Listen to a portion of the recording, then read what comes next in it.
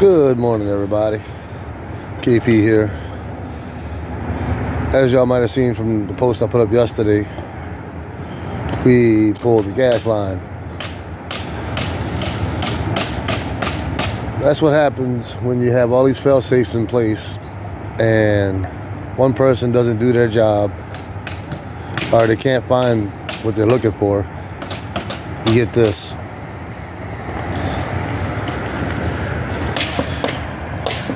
Two inch gas line. Normally Dottie would come out and mark it off. There's no yellow paint there.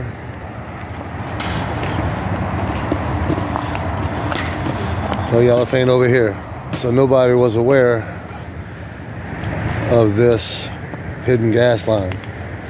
Fortunately, it didn't bust the gas line but the fire department was called. They came out,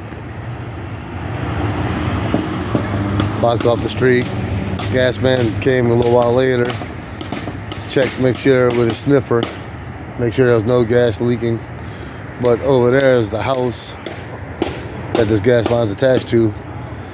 It pulled the meter like three inches to one side.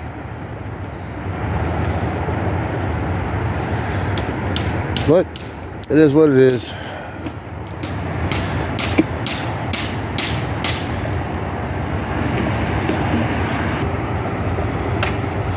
As you see here,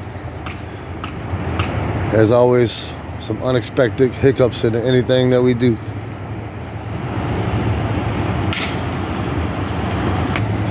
It could have been much worse than what it is, but you can always hope for the best and expect the worst.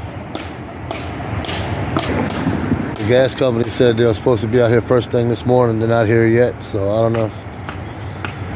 It puts a hold on us finishing out this because we're going to be pouring this tomorrow.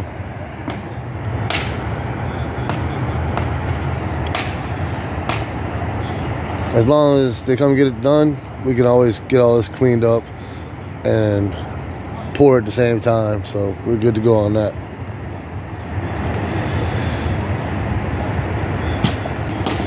Just like in life, ex expect the unexpected.